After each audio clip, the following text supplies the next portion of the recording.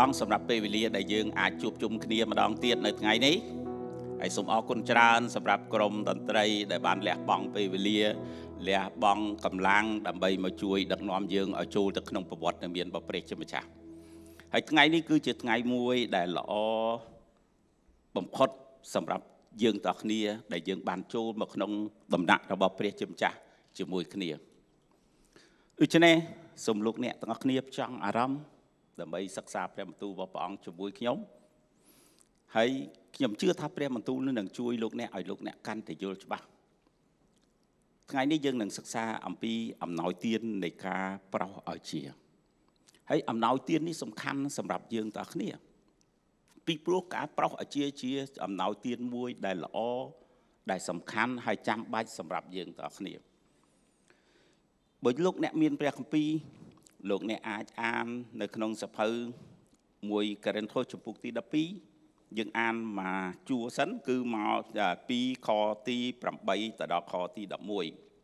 ខ្ញុំអានជូនលោកអ្នកទាំងអស់គ្នាសូមតាមដានជាមួយខ្ញុំទាំងអស់គ្នា គឺព្រះអង្គគឺព្រះអង្គប្រទានឲ្យម្នាក់ចេះនិយាយប្រកបដោយប្រាជ្ញាហើយឲ្យព្រះហើយព្រះវិញ្ញាណដដែលប្រទានឲ្យម្នាក់ទៀតចេះនិយាយ ដោយយល់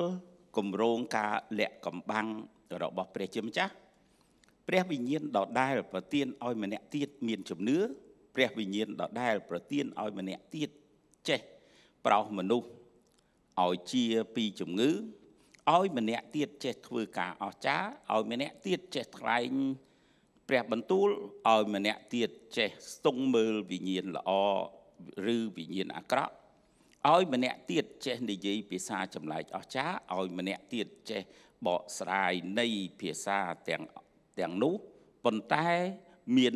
ព្រះវិញ្ញាណតែមួយដដែលដែលបំពេញសកម្មភាពទាំងអស់ហើយប្រទានឲ្យម្នាក់ម្នាក់មានអំណោយទានផ្សេងផ្សេងពីគ្នា តាមព្រះハរតីរបស់ព្រះអង្គសូមសម្រុំចិត្តអធិដ្ឋានជាមួយខ្ញុំមុនពេលដែលខ្ញុំបកស្រាយខគម្ពីរនេះ អរគុណព្រះយេស៊ូវគ្រីស្ទអរគុណសម្រាប់ពេលវេលា ដែលព្រះអង្គបានប្រទានឲ្យយើងទាំងអស់គ្នា បានចូលមកដើម្បីថ្វាយបង្គំនិងសិក្សាពីព្រះបន្ទូលរបស់ព្រះអង្គព្រះអង្គដែលជាព្រះសូមប្រទានពរដល់បងប្អូនទូបង្គំសូមឲ្យព្រះបន្ទូលទាំងអស់បានចាក់ឫសចូលទៅក្នុងជំរឿចិត្តអស់អ្នកទាំងឡាយដែលបានបានតាមដានមើលតាមការ live ឬនៅទីនេះផ្ទាល់ ដើម្បីឲ្យគេបានចម្រើនឡើងនៅក្នុងដំណាក់របស់ព្រះអង្គគុណដឹងថាការដែលនៅក្នុងដំណាក់របស់ព្រះអង្គគឺជាការមួយដែលយើងទាំងគ្នាមានសេចក្តីសុខសាន្តបំផុត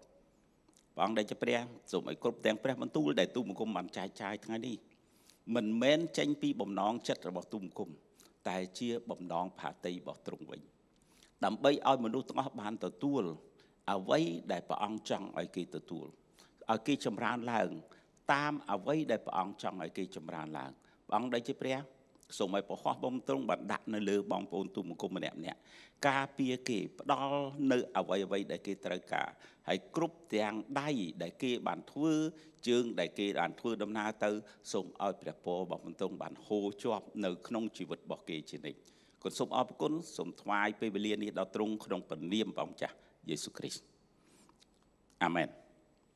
ដូច្នេះយើងដឹងហើយថាព្រះវិញ្ញាណដ៏បរិសុទ្ធបានប្រទានអំណោយទានផ្សេងផ្សេងគ្នាដល់មនុស្សដល់អស់អ្នកដែលជឿព្រះអង្គដល់អស់អ្នកដែលត្រូវការអំណោយទាននោះឯងថ្ងៃនេះយើងនឹងសិក្សាអំណោយទានមួយ ដែលយើងហៅថាអំណោយទាននៃការប្រោសឲ្យជាវាជាការសំខាន់ណាស់ដែលយើងទាំងអស់គ្នាត្រូវមានអំណោយទាននេះឯងខ្ញុំជឿថាអស់អ្នកដែលចង់បានអំណោយទាននេះ បើលោកអ្នកទូលសុំព្រះអង្គព្រះអង្គនឹងប្រទានឲ្យលោកអ្នកទាំងអស់គ្នាលោកអ្នកនឹងទទួលបាន ទៅតាមអ្វីដែលលោកអ្នកទូលសុំទៅព្រះអង្គក្នុងកាពីបានចែងថាសូម្បីតែពួកអាក្រក់ក៏ចេះឲ្យរបស់ល្អទៅកូនរបស់គេផ្ទាល់ចុះទម្រាំដែលព្រះជាម្ចាស់ដែលជាព្រះដែលប្រកបដោយប្រហតិមេត្តាករណាតើព្រះអង្គនឹងឲ្យព្រះវិញ្ញាណដ៏ល្អល្អសម្រាប់លោកអ្នកយ៉ាងម៉េចទៅទៀតដូច្នេះ បើលោកអ្នកត្រូវការព្រះអង្គនឹងប្រទានឲ្យលោកអ្នកទាំងអស់គ្នាខ្ញុំចង់អានម្ដងទៀតនៅក្នុង1ករិនថូសចំពុកទី12តែខទី9មួយគត់ព្រះវិញ្ញាណដដែលប្រទានឲ្យម្នាក់ទៀតមានជំនឿ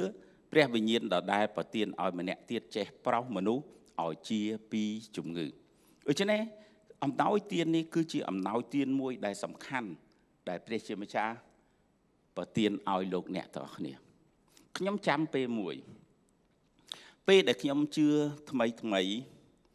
ហើយខ្ញុំក៏ដូចមនុស្សផ្សេងទៀតដែលយើងតោះគ្នាចាប់ដើមចម្រើនឡើងម្ដងបន្តិចម្ដងបន្តិចនៅក្នុងដំណាក់របស់ព្រះជាម្ចាស់ពេលមួយយើងធ្វើពិធីមួយយើងហៅថាការតន្ត្រីផ្សាយដំណឹងល្អមួយហើយខ្ញុំក៏បានចូលរួមនៅទីនោះដើម្បីបម្រើជាមួយនឹងគេហើយពេលដែលគេកំពុងតែប្រគំតន្ត្រី មានមនុស្សខ្លះថ្វាយបង្គំព្រះអង្គប៉ុន្តែអ្នកដែលអត់តន់ជឿព្រះអង្គគេអត់ដឹងពីរបៀបដើម្បីថ្វាយបង្គំព្រះអង្គទេ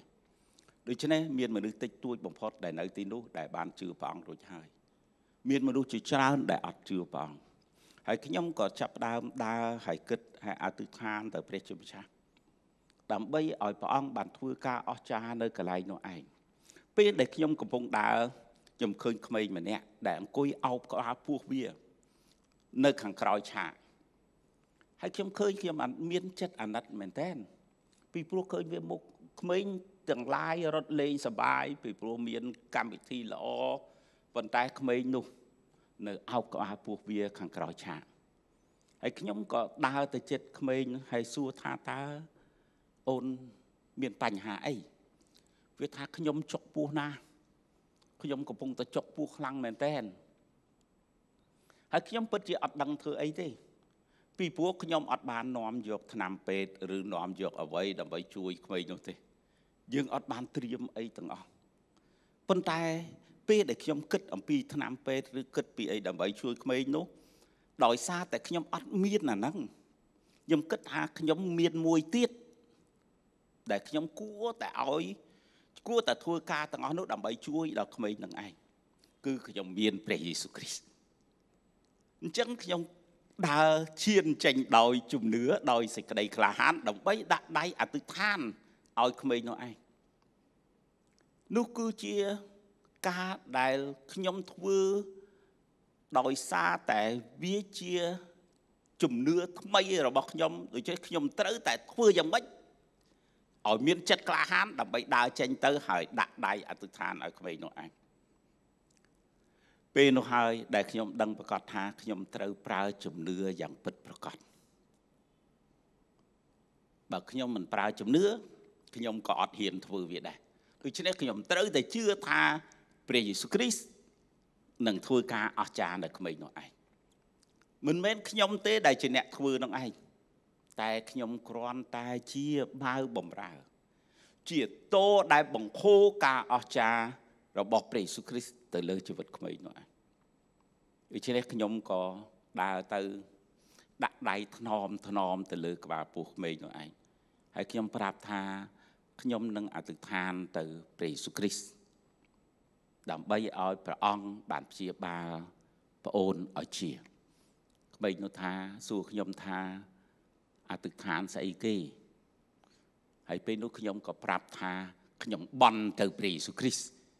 ដើម្បីឲ្យព្រះយេស៊ូវគ្រីស្ទបានព្យាបាលហើយពេលដែលក្មេងលឺអញ្ចឹងគេមានអារម្មណ៍ធម្មតាមិនសូវល្អប្រហែលដោយសារអីដោយសារវាអត់ដែលកើតមានដូច្នេះប៉ុន្តែដោយសារតែខ្ញុំសុំគេថាអញ្ចឹងក៏បានដែរអា ខ្ញុំក៏ដាក់ដៃនៅលើក្បាលពោះគេហើយខ្ញុំទូលអង្គពរទៅព្រះយេស៊ូវគ្រីស្ទថាព្រះអង្គហើយព្រះអង្គជាព្រះ ដែលមានបច្ចេកគ្រប់វិជ្ជាស្ដាសូមឲ្យការអស្ចារ្យបានកើតមាននៅក្នុងក្មេងនេះឯងសូមឲ្យការព្យាបាលបានហូរឡើងហូរចុះមកដើម្បីជាបន្ទាល់សម្រាប់បរិយាជាណាចក្ររបស់ព្រះអង្គផ្ទាល់ដោយនៅក្នុងព្រះនាមព្រះយេស៊ូវគ្រីស្ទជំងឺចុកពោះចេញពីក្មេងនេះ ហើយពេលដែលខ្ញុំដកដៃចេញហើយខ្ញុំសួរថាមិនដែរបងអូនឯងមិនដែរគាត់ថាអូស្រួលខ្លួនណាអើហើយខ្ញុំអញ្ចឹងក៏អដែរពីព្រោះពាក្យថាស្រួលខ្លួនមានន័យថាខ្ញុំសប្បាយចិត្តអញ្ចឹងណាបើបើក្មេងនោះឆ្លើយថាចុកខ្លាំងខ្ញុំពិបាកចិត្តអញ្ចឹងហ៎អញ្ចឹងខ្ញុំគិតថាអាឮពាក្យហ្នឹងមិនបាច់សួរថែមទៀតទេពីព្រោះគាត់ថាស្រួលហើយ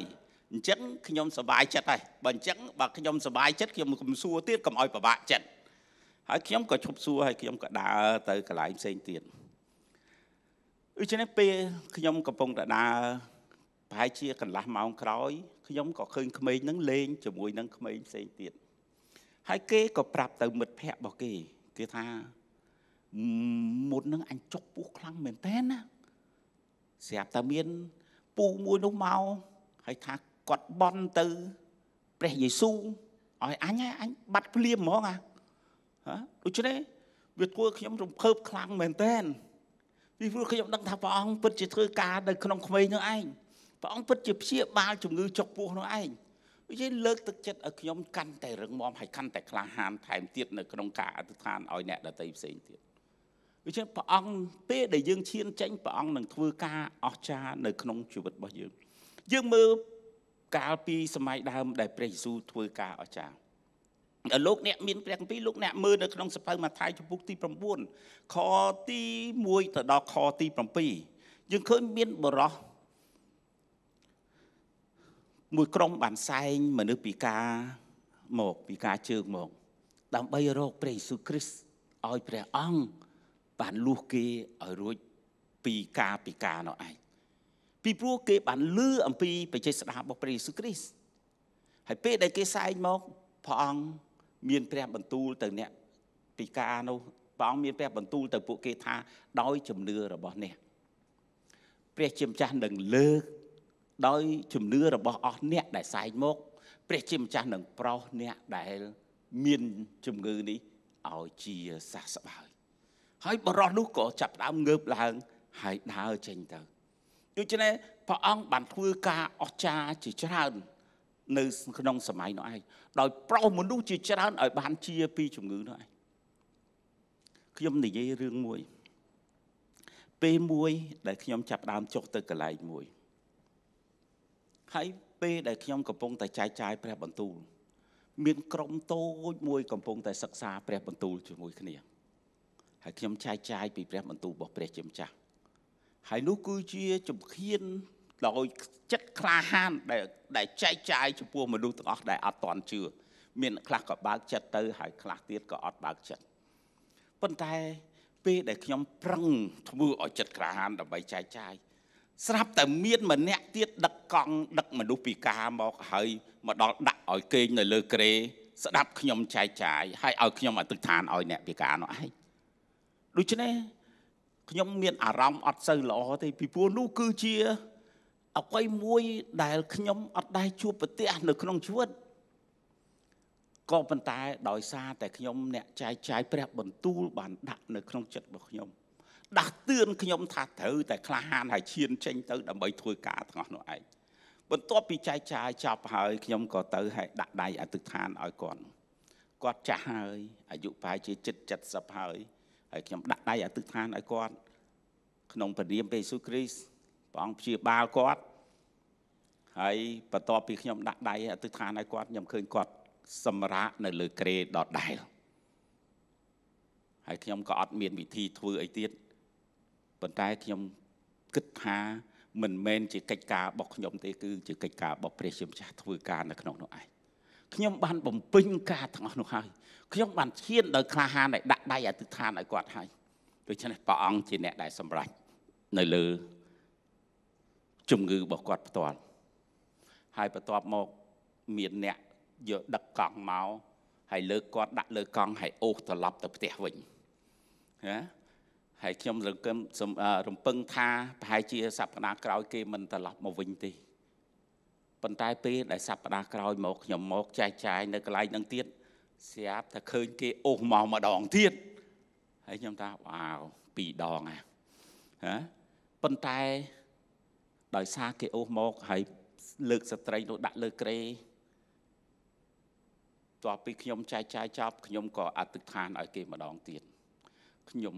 ឈានដោយជំងឺជំនឿហើយដាក់ដៃអធិដ្ឋានឲ្យគេម្ដងទៀត បន្ទាប់ពីអធិដ្ឋានហើយខ្ញុំមើលទៅគេគាត់នៅដដែលគេនៅលើក្រេដដែលហើយហើយអ្នកបរោះ2នាក់មកលើគាត់ដាក់លើកង់ហើយអូសត្រឡប់ទៅវិញសប្តាហ៍ទី3មក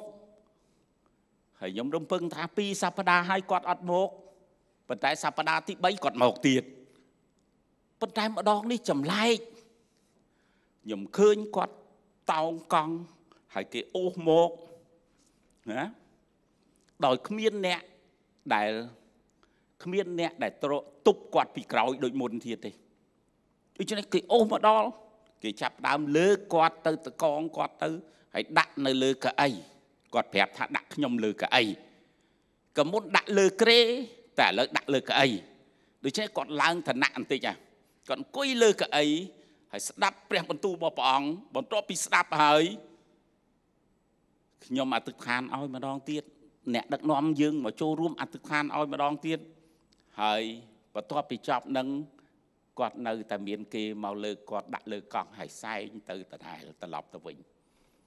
សប្តាហ៍ទី4មកម្ដងទៀតគាត់មកម្ដងទៀតជិះលើកង់ហើយម្ដងនេះពេលដែលគាត់ចុះពីលើកង់ខ្ញុំឃើញក្មេងប្រុសម្នាក់ ក្រៀកគាត់ហើយគាត់ប្រឹងមកហើយមកអង្គុយលើកៅអីម្ដងទៀតហើយខ្ញុំអត់ចប់ខ្ញុំអត់ខានឲ្យម្ដងទៀតគាត់ត្រឡប់ទៅវិញសប្តាហ៍ទី5ជាសប្តាហ៍មួយដែលចម្លែកបំផុត ដែលខ្ញុំពិតជាគិតមិនដល់ប៉ុន្តែព្រះរបស់យើងអស្ចារ្យខ្ញុំឃើញគាត់កាន់ឈើច្រត់ដើរមក ទាំងហត់ក៏ខុនៅក្នុងប៉ុន្តែគាត់អាចកាន់ឈើច្រត់ដើរមកសប្តាហ៍ទី6គាត់ដើរដោយគ្មានឈើច្រត់សប្តាហ៍ទី7គាត់ចាប់ផ្ដើមច្រៀងសរសើរដង្កើងផងដូច្នេះព្រះរបស់យើងបានធ្វើការទាំងអស់នោះមិនមែនខ្ញុំតែជាអ្នកធ្វើការទាំងអស់នោះប៉ុន្តែព្រះធ្វើការទាំងអស់នោះឯងពេលដែលលោកយ៉ូហាន់បើយើងមើលនៅក្នុងសភៅកិច្ចការចំពុកទី3ខទី1ទៅ ពេលដែលលោកយ៉ូហាន់និងលោកពេត្រុសឡើងទៅព្រះវិហារដើម្បីអធិដ្ឋាននៅម៉ោង3រសៀលលោកដើរទៅរាល់ថ្ងៃមានគេសែងបរោះពីការជើងមកដាក់នៅក្បែរផ្លូវហ្នឹងយើងហៅថាទ្វារលំអដើម្បីសុំទានសម្រាប់ចិញ្ចឹមជីវិត នោះគឺជាមុខរបរដែលគាត់តែងតែធ្វើរាល់ពេលដែលមានមនុស្សឡើងមកព្រះវិហារពីព្រោះ គាត់ដឹងប្រកាសថាអ្នកដែលមកព្រះវិហារគឺជាមនុស្សដែលចិត្តល្អអញ្ចឹងគេអត់មកអង្គុយហ្នឹងដើម្បីសុំទានដើម្បីចិញ្ចឹមជីវិតរបស់គាត់ប៉ុន្តែថ្ងៃហ្នឹងគឺជាថ្ងៃមួយដែលចៃដន្យបំផុតគាត់មកសុំប៉ះចំអ្នកអត់មានលុយដូច្នេះគាត់មកដល់សុំលោកពេត្រុសហើយនិងលោកយ៉ូហាន់សម្លឹងមើលទៅគាត់អ្វីដែលលោកពេត្រុសនិងលោកយ៉ូហាន់ប្រាប់ទៅគាត់ថាឯមាសប្រាក់ខ្ញុំគ្មានទេ ដូច្នេះពេលដែលលោកពេត្រុសខ្ញុំជឿថាពេលដែលលោកពេត្រុសប្រាប់គាត់ថាឯមាសប្រាក់ខ្ញុំគ្មានទេគាត់ពិតជាខកចិត្តយ៉ាងខ្លាំងពីព្រោះគោលបំណងរបស់គាត់គឺចង់បានអានោះឯងដើម្បីចិញ្ចឹមជីវិតរបស់គាត់ប៉ុន្តែនៅពេលអ្នកដែលគាត់សុំឲ្យប្រាប់ថាមាសប្រាក់ខ្ញុំគ្មានទេដូច្នេះគាត់អស់សង្ឃឹមនៅក្នុងចិត្តរបស់គាត់ដោយសារតែ អ្នកទាំងពីរអត់មានអីដែលឲ្យគាត់គាត់គិតថាពីរអ្នកនេះប្រហែលជាគ្មានប្រយោជន៍អីទេអត់មានលុយណាដើម្បីឲ្យគាត់ប៉ុន្តែលោកពេត្រុសនិងលោកយ៉ូហាន់ប្រាប់ថាមាសប្រាក់ខ្ញុំគ្មានទេ តែអ្វីដែលខ្ញុំមានខ្ញុំឲ្យអ្នកតើអ្វីដែលលោកពេត្រុសហើយលោកយ៉ូហាន់មានគាត់ក៏ចង់ដឹងដោយលោកអ្នកទាំងអស់គ្នាដែរតើតើលោកមានស្អីបើអត់មានមាសប្រាក់ផងនោះ តែលោកថាគឺព្រះយេស៊ូវគ្រីស្ទដែលខ្ញុំមានហើយខ្ញុំឲ្យទៅអ្នកព្រះយេស៊ូវគ្រីស្ទជាអ្នកធ្វើការទាំងអស់នឹងឯងខ្ញុំគ្មានអីសម្រាប់ឲ្យអ្នកប៉ុន្តែខ្ញុំដឹងថាបើខ្ញុំឲ្យព្រះយេស៊ូវទៅអ្នកនោះអ្នកនឹងមានសុភមង្គលច្រើននៅក្នុងជីវិតរបស់លោកអ្នកហើយលោកពេត្រុសនិងលោកចហានថាក្នុងព្រះនាមព្រះយេស៊ូវគ្រីស្ទក្រោកឡើងបុរសនោះក៏ក្រោកឡើងហើយដើរទៅ ដូច្នេះតើអ្វីដែលមានតម្លៃជាងជើងរបស់គាត់ដែលអាចក្រោកហើយដើរបាន ក្នុងមួយជីវិតគាត់មិនអាចដើរបានប៉ុន្តែថ្ងៃនេះ ជាលើកទី1នៅពេលដែលគាត់ជួបព្រះយេស៊ូវគ្រីស្ទគាត់អាចក្រោកឡើងហើយដើរបានដូច្នេះព្រះយេស៊ូវគ្រីស្ទគឺជាប្រភពមួយដែលផ្ដល់ឲ្យគាត់មានកម្លាំងហើយព្យាបាលការទាំងអស់ហ្នឹងឯងមិនមែនលោកពេត្រុសមិនមែនលោកយ៉ូហាន់ ប៉ុន្តែព្រះយេស៊ូវគ្រីស្ទខ្ញុំគ្មានអីឲ្យអ្នកប៉ុន្តែខ្ញុំមានព្រះយេស៊ូវគ្រីស្ទសម្រាប់លោកអ្នកទាំងអស់គ្នាខ្ញុំមិនមែនចែកចាយព្រះបន្ទូលដែលចេញពីចិត្តរបស់ខ្ញុំសម្រាប់លោកអ្នកតែខ្ញុំចែកចាយអ្វីដែលជារបស់ព្រះយេស៊ូវព្រះយេស៊ូវគ្រីស្ទដើម្បីឲ្យទៅលោកអ្នកទាំងអស់គ្នាសូមទទួលព្រះយេស៊ូវគ្រីស្ទនៅក្នុងជីវិតរបស់លោកអ្នកហើយព្រះយេស៊ូវគ្រីស្ទនឹងធ្វើឲ្យលោកអ្នក បានដើរដូចជាបរោះដែលពិការជើងធ្វើលោកអ្នកទាំងអស់គ្នាដែលខ្វះខាតឲ្យលោកអ្នកបានពោពេញទៅដោយប្រគុណរបស់ព្រះអង្គនៅក្នុងជីវិតរបស់លោកអ្នកយើងឃើញអំពីអំណោយទាននៃខាងវិញ្ញាណដែលព្រះអង្គបានធ្វើនៅក្នុងការទាំងអស់នោះតើព្រះអង្គនឹងធ្វើនៅក្នុងជីវិតរបស់យើងនៅសម័យនេះដែរឬអត់ខ្ញុំបានឧទាហរណ៍ប្រាប់លោកអ្នករួចហើយ ព្រះជាម្ចាស់បានធ្វើជាមួយសាវករបស់ព្រះអង្គនៅសម័យនោះធ្វើជាមួយព្រះយេស៊ូវគ្រីស្ទនៅសម័យនោះប៉ុន្តែព្រះអង្គក៏នឹងធ្វើជាមួយយើងនៅសម័យនេះដែរអាមែនដូច្នេះបើយើងមើលនៅក្នុងសភៅម៉ាថាយចំពុកទី12ខទី15ពេលដែលព្រះយេស៊ូវមុនពេលដែលព្រះយេស៊ូវបំពេញការងារព្រះអង្គបានពោពេញទៅដោយព្រះវិញ្ញាណដ៏វិសុទ្ធព្រះអង្គបានទទួលព្រះវិញ្ញាណដ៏វិសុទ្ធពីព្រះបិតា ដើម្បីជាតំណាងឲ្យយើងទាំងគ្នាដឹងប្រកាសថាព្រះវិញ្ញាណដ៏វិសុទ្ធនឹងយាងមកសន្ធិដ្ឋលើយើងរាល់គ្នាដែរនៅក្នុងលូកាចំពុកទី4ខទី17 19បានចែងថាព្រះវិញ្ញាណដ៏វិសុទ្ធដែលគង់នៅលើព្រះយេស៊ូវគ្រីស្ទព្រះវិញ្ញាណដ៏វិសុទ្ធនោះក៏នឹងគង់លើលោកអ្នកទាំងអស់គ្នាផងដែរអាមែនដូច្នេះអ្វីដែលព្រះយេស៊ូវគ្រីស្ទមានលោកអ្នកទាំងអស់គ្នាក៏មានដែរ លោកអ្នកព្រះយេស៊ូវគ្រីស្ទបានទទួលព្រះវិញ្ញាណបរិសុទ្ធពីព្រះបិតាតែលោកអ្នកឥឡូវនេះលោកអ្នកក៏បានទទួលព្រះវិញ្ញាណដ៏វិសុទ្ធពីព្រះបិតាដែរសូមឲ្យព្រះវិញ្ញាណដ៏វិសុទ្ធបានគង់នៅជាមួយលោកអ្នកទាំងអស់គ្នាសូមឲ្យព្រះវិញ្ញាណដ៏វិសុទ្ធបានធ្វើការនៅក្នុងជីវិតរបស់លោកអ្នកទាំងអស់គ្នាសូមទទួលព្រះវិញ្ញាណដ៏វិសុទ្ធទាំងអស់គ្នាសូមឲ្យព្រះវិញ្ញាណបានហូរចូលទៅក្នុងជីវិតរបស់លោកអ្នកទាំងអស់គ្នា បំពេញនៅក្នុងជីវិតរបស់លោកអ្នកទាំងអស់គ្នាដោយព្រះវិញ្ញាណដ៏វិសុទ្ធរបស់ព្រះជាម្ចាស់ យើងទទួលព្រះវិញ្ញាណដ៏សុទ្ធនៅក្នុងសភៅរ៉ូមចំពុកទី8ខទី11បានបង្ហាញថាព្រះវិញ្ញាណដ៏សុទ្ធជាងសន្ធិដ្ឋលើព្រះយេស៊ូវគ្រីស្ទក៏ជាងមកសន្ធិដ្ឋលើយើងរាល់គ្នាដែរយើងមិនមែនធ្វើការនោះដោយកម្លាំងខ្លួនឯងនោះឡើយយើងមិនមែនធ្វើកិច្ចការទាំងអស់ដោយប្រាជ្ញារបស់ខ្លួនឯងឡើយប៉ុន្តែយើងធ្វើកិច្ចការទាំងអស់ដោយមានព្រះវិញ្ញាណដ៏វិសុទ្ធដែលគង់នៅកណ្ដាលយើងហើយធ្វើការនៅក្នុងជីវិតរបស់យើងផ្ទាល់ដូចជាព្រះវិញ្ញាណដ៏វិសុទ្ធទាំង នឹងជាងមកឲ្យសន្ធិដ្ឋលើរោគអ្នកទាំងអស់គ្នាយើងទទួលការទាំងអស់នោះដោយសារតែយើងទទួលព្រះវិញ្ញាណដ៏សុទ្ធយើងអាចធ្វើការទាំងអស់នោះដោយសារតែយើងមានព្រះវិញ្ញាណដ៏សុទ្ធដែលគង់នៅកណ្ដាលចំណោមយើងទាំងអស់គ្នាព្រះវិញ្ញាណដ៏សុទ្ធបានរំលឹកយើង អំពីអ្វីដែលជាកតបកិច្ចជាកិច្ចការដែលយើងទាំងគ្នាត្រូវធ្វើពេលដែលលោកអ្នកទទួលព្រះវិញ្ញាណដ៏សុទ្ធហើយ សូមកុំរក្សាតែតែនៅក្នុងជីវិតរបស់លោកអ្នកទាំងអស់គ្នា ពេលដែលលោកអ្នកទទួលអំណោយទានដែលព្រះវិញ្ញាណដ៏សុទ្ធគង់នៅក្នុងអ្នកហើយបានបំពេញនៅក្នុងជីវិតរបស់អ្នករួចហើយសូមគុំក្រន់តែរក្សានៅក្នុងជីវិតរបស់លោកអ្នកពីព្រោះព្រះអង្គមិនបានឲ្យគ្រាន់តែសម្រាប់លោកអ្នកនោះឡើយប៉ុន្តែព្រះអង្គបានឲ្យអ្នកដើម្បីឲ្យអ្នកអាចឲ្យទៅអ្នកដទៃផ្សេងទៀត ដើម្បីឲ្យអ្នកបានចែកចាយទៅដល់អ្នកដទៃផ្សេងទៀតយើងប្រៀបបាននឹងតោដែលឲ្យព្រះជាម្ចាស់បានបង្ហូរបច្ចេស្តារបស់ទ្រង់ឆ្លងកាត់យើងហើយចូលទៅក្នុងជីវិតរបស់អ្នកដទៃផ្សេងទៀតដើម្បីឲ្យគេបានឃើញអំពីបច្ចេស្តារបស់ព្រះ នៅក្នុងជីវិតរបស់គេដូចជានៅក្នុងជីវិតរបស់យើងដែរផងបានធ្វើការនៅក្នុងជីវិតរបស់ខ្ញុំ ដើម្បីឲ្យក្មេងប្រុសម្នាក់បានជាព្រះអង្គបានធ្វើការតាមជីវិតរបស់ខ្ញុំ ដើម្បីឲ្យយាយម្នាក់ដែលបានដែលដើរមករួចអាចដើររួចនោះមិនមែនជាអ្វីដែលខ្ញុំធ្វើនោះមិនមែនជាកម្លាំងរបស់ខ្ញុំតែ គឺជាព្រះជាម្ចាស់ដែលធ្វើការនៅក្នុងជីវិតរបស់ខ្ញុំបើយើងមើលនៅក្នុងសភៅម៉ាកូសចំពុកទី16ខទី15ដល់18បានបង្ហាញប្រាប់យើងថា ព្រះយេស៊ូវគ្រីស្ទមានព្រះបន្ទូលថាចូលចេញទៅ ដើម្បីធ្វើកិច្ចការទាំងអស់ដែលព្រះអង្គបានបញ្ជាយើងឲ្យធ្វើដើម្បីធ្វើកិច្ចការទាំងអស់ដែលដែលព្រះវិញ្ញាណដ៏សុទ្ធបានដាក់នៅក្នុងជីវិតរបស់យើងម្នាក់ម្នាក់ជាអំណោយទានដែលព្រះអង្គដាក់នៅក្នុងជីវិតរបស់យើងដូច្នេះព្រះអង្គឲ្យយើងចេញទៅព្រះអង្គប្រទានព្រះវិញ្ញាណដ៏សុទ្ធព្រះវិញ្ញាណដ៏សុទ្ធបានប្រទានអំណោយទានដ៏វិសុទ្ធ អំណោយទានដ៏ល្អនៅក្នុងជីវិតរបស់យើងដើម្បីឲ្យយើងយកអំណោយទាននោះ ទៅបំរើទៅដល់អ្នកដទៃផ្សេងទៀតនិងជួយអ្នកដទៃផ្សេងទៀតឲ្យបានស្គាល់ព្រះអង្គផ្ទាល់ដែលជាព្រះដែលមានវិជ័យស្ដា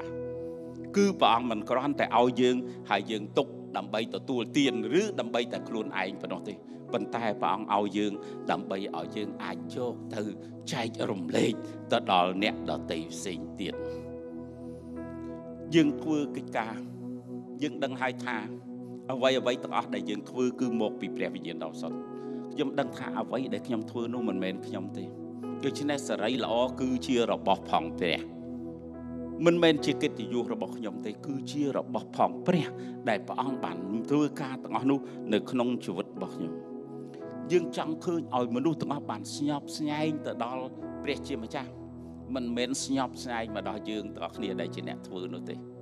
ដូច្នេះខ្ញុំមិនគិតអំពីផលខ្ញុំពិតជាចង់បានអ្វីដែលដូចបំណងចិត្តរបស់ខ្ញុំពេលដែលខ្ញុំធ្វើអីមួយខ្ញុំចង់បានផលដែលដូចបំណងចិត្តរបស់ខ្ញុំ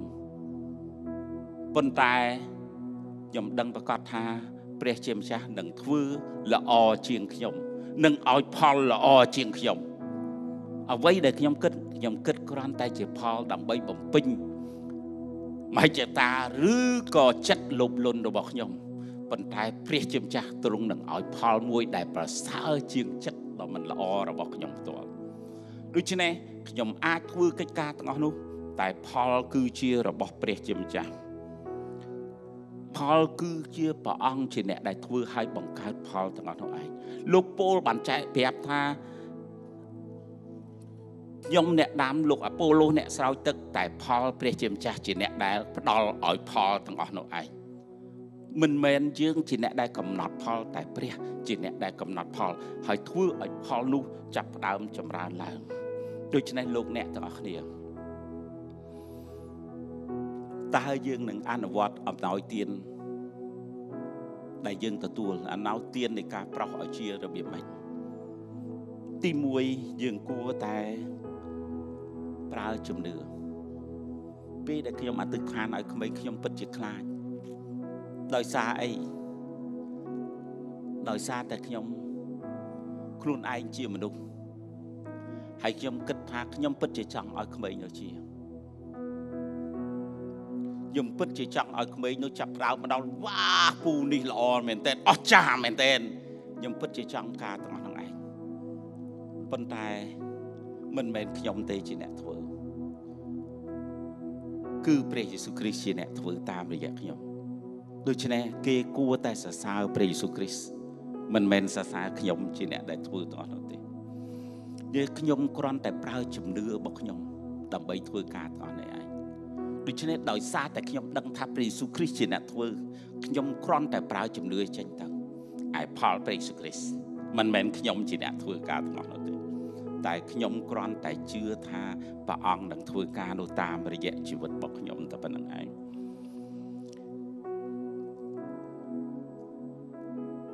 អ្វីដែលយើងចាប់ផ្ដើមសម្លឹងមើលយើងដឹងប្រកាសថាពេលដែលព្រះវិញ្ញាណដ៏សុទ្ធប្រទានអំណោយទាននោះដល់យើងព្រះអង្គប្រទានអំណោយទាននៃចិត្តប្រណីសន្តោសដល់យើងខ្ញុំដើរកាត់ក្រោយរោងឆាអីខ្ញុំឃើញក្មេងនោះ អោបក្បាលពោះឲ្យមុខសពូនខ្ញុំពិតជាអាណិតអាសូរទៅដល់ក្មេងនោះឯងពីព្រោះគ្នាឈឺចាប់ខ្ញុំដឹងអំពីការឈឺចាប់ទាំងអស់នោះឯងដូច្នេះចិត្តរបស់ខ្ញុំពិតជាអាណិតទៅដល់ក្មេងនោះឯងអញ្ចឹងហើយបានជាខ្ញុំសុខចិត្តកាត់ភាពអៀនខ្មាស់របស់ខ្ញុំ ដើម្បីធ្វើការទាំងអស់នោះទោះបីក្នុងចំណោមអ្នកមិនជឿក៏ដោយតែខ្ញុំត្រូវតែធ្វើការទាំងអស់នោះឯង ពីព្រោះតែចិត្តអាណិតអាសូរពេលដែលខ្ញុំឃើញស្ត្រីនោះឯងដែលដើរមិនរួចហើយខ្ញុំដឹងប្រកាសថាគាត់បានរកតាមពេទ្យរកអីជាច្រើន នៅក្នុងជីវិតរបស់គាត់គាត់មិនមែនសម្រាប់ដេកនៅលើគ្រែហើយចាំសេចក្តីស្លាប់នោះឡើយគាត់ខំប្រឹងដូច្នេះគាត់ពិតជាចង់ដើរបានចង់ឃើញចង់ចង់ធ្វើដូចជាមនុស្សផ្សេងទៀត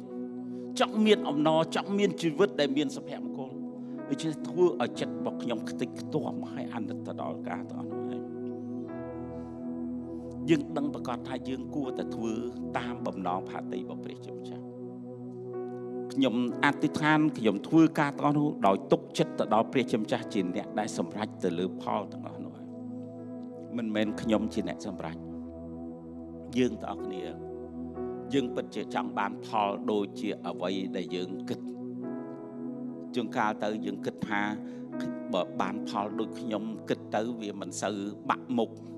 ណាប៉ុន្តែផលគឺមកពីព្រះជាម្ចាស់សូមថ្វាយវាទៅដល់ព្រះជាម្ចាស់មុខមាត់របស់យើងមិនសំខាន់តែប្រភពរបស់ព្រះជាម្ចាស់សំខាន់អាមែនព្រះអង្គសំខាន់ជាងយើងរាប់រាប់ រាប់លានដងតែយើងគ្រាន់តែជាមនុស្សធម្មតា អ្វីដែលយើងធ្វើគ្រាន់តែក្លាហានហើយចេញទៅហើយអធិដ្ឋានឲ្យពួកគេ ដោយមានចិត្តអាណិតអាសូរនិងសេចក្តីស្រឡាញ់ចំពោះពួកគេទាំងអស់គ្នា ហើយយើងនឹងឃើញអំពីការទាំងអស់នោះកើតមានឡើងសម្រាប់ពួកគេទាំងអស់គ្នាកុំភ្លេចគ្រាន់តែជឿ ថាព្រះអង្គនឹងធ្វើការទាំងអស់នោះ ហើយទុកឲ្យផលការសម្រេចចិត្តនៅលើព្រះ យើងគ្រាន់តែដាក់ដៃទូលអង្វរទៅដល់ព្រះសូមឲ្យព្រះអង្គធ្វើការនោះនៅក្នុងជីវិតរបស់ពួកគេ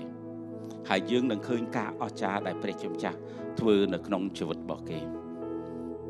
យើងនឹងខកចិត្តបើយើងដាក់កំណត់